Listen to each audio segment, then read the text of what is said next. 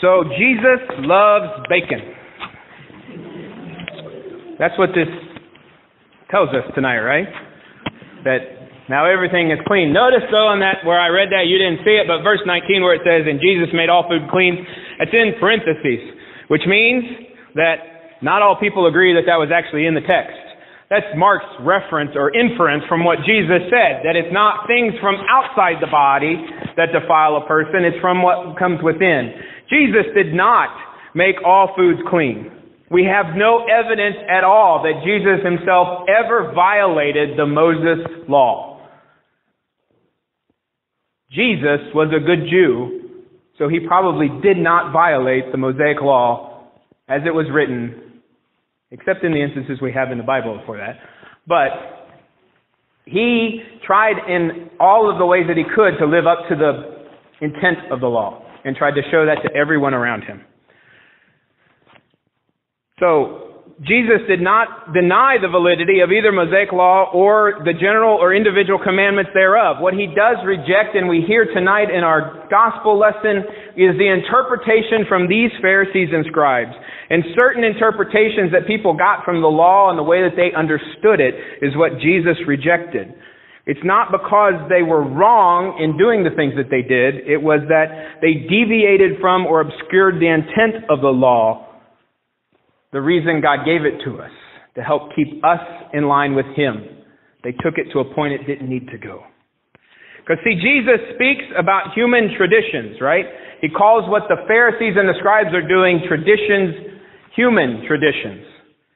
He speaks of this in verse 6 and 7. And in verse 5, the Pharisees and the scribe call into question the disciples because they don't wash their hands before they eat.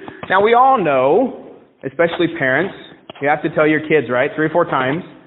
Go wash your hands. You're getting ready to sit down to eat dinner? Go wash your hands. Go wash your hands. Go wash your hands. Right? Because we know that you shouldn't really eat with dirty hands. Why? Because you'll get sick. Right? So we should wash our hands. It's good practice. But the Pharisees call into question the disciples not because they weren't washing their hands, but because they weren't keeping the traditions that the Pharisees thought needed to be kept in order to keep their relationships right with God. So when the Pharisees call into question these disciples, not only do they call into question the disciples, but they also then call into question Jesus, right? Because Jesus is their teacher, and Jesus is the one that's supposed to tell them what to do and show them the right way to live. It's interesting, though. I want you to go home tonight and read all of the Old Testament. Really? That's all? Do you realize how long it would take you to read the Old Testament? a long time. And just take my word for it then. It would be nice for you to look, but it, just take my word for it. And nowhere in all of the Old Testament is there any laws about washing your hands before you eat. Nowhere. It does mention in Exodus 30, chapter 30, verses 18 through 21, speaking about a bronze basin that will be set up for the priests to wash their hands and their feet before they go into the temple to offer sacrifice or to do any kind of worship to God. But nowhere in all of the Old Testament is there any laws or commandments that say that a person should wash their hands before they eat. This is a human tradition that the Pharisees and scribes have and a custom of their day. Right? It's a custom of the day that these Jews, these Pharisees and scribes are upholding. The washings of cups, of pots and copper vessels and dining couches it talks about in our reading. These are all things that have been set up by the Pharisees, extra traditions added on to the Mosaic law. It's not even in the Mosaic law. So Jesus, in response to their question, quotes to them Isaiah chapter 29 verse 13. And in this passage, Isaiah introduces a contrast between lips and mouth and the heart. And Jesus takes this contrast and builds upon it to talk about the issue at hand here being one of defilement. And he shows how a human body can become polluted. And simply put, to Jesus, impurity is a matter of heart, not a matter of mouth. All about this, not about anything that goes in here. Right?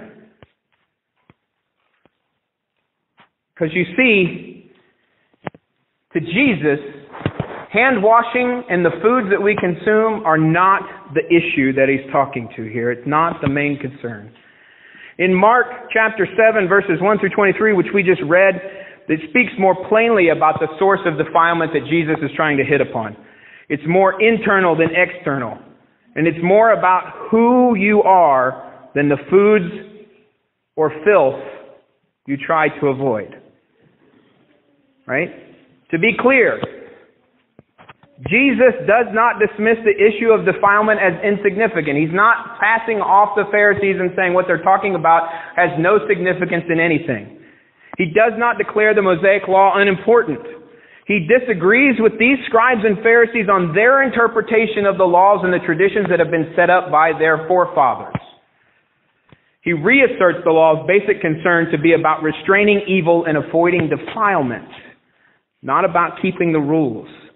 Yet here's the problem for most of us. Evil and defilement stem from places rather deeply embedded within our very own selves. It really, it is really about the evil output of our own hearts. And as we've probably, most of us heard, any of us who are over than 30 have probably heard it, we have met the enemy, and he is us. Right. Pogo. Go Google it, kids. Pogo. P-O-G-O. We have met the enemy, and he is us. It's talking about lip service. Doing what needs to be done in order for people to see you doing the things that need to be done so that they think that you're the kind of person that you want them to think you are. Do you get that? It's about doing the things that need to be done in order that the people see you doing the things that need to be done so the people think that you are the person that you want them to think that you are. I don't ask me to say it again. I don't think I could. We do things so that people see us, but that's not what Jesus is talking about. And the true defilement of who we are and the people that we could be comes from deep within us. It's not anything that outside of us that could come into us. Because you see in this passage of scripture, it's about the human. The anthropos is the word in the Greek. It's not about the scribes, it's not about the Pharisees, and it's not about the law. What Jesus subjects to the fiercest criticism in our passage here is the human being, anthropos. Because you see the word anthropos, human being or person, occurs 11 times in the span of Mark chapter 7, verses 7 through 23. 11 times the word is used in 14 verses. So the issue is not how or what we should eat. But it is an internal battle with the corruption that is within all of us. A corruption that can choke the life out of any traditions, that can turn traditions into an enemy of God, that can remove our focus from following God to following the rules so that people see us to be the people that we want them to see us, that we think that we are, that we want them to think that we are. Right? This corruption or evil belongs to our own human hearts. And in Mark, it's not to be blamed on a diabolical entity. It's not to be blamed on somebody outside of ourselves. In Mark, evil is not the result of the devil lurking in the shadows. Truly evil intentions dwell not only with, within society's most notorious figures, but if we're honest with ourselves, deep within each and every one of us, and those that we love and trust most fervently. Right? I don't know how many of you have seen it. I'm going to try not to give any spoilers. If I do, I'm sorry. The movie Noah deals quite literally with this about how society is evil and how God needs to do something in order to destroy it and take care of what we've done to His good creation. It's a movie that deals with sin and evil and how we ourselves deal with it and how we ourselves see who we are in this place and in this time and how we can be creations of God, but also think about our own self intentions and our own self needs and our own self wants. And it's all about us and not about the person sitting next to us. It's an interesting dichotomy to think about the destruction of the world and know that it's for the good of all creation. Because you see, we have seen the enemy, and we see him every morning or her every morning when we look in the mirror. Because if we're truly honest with ourselves, the biggest person that we have to deal with or that we have to combat with is ourselves.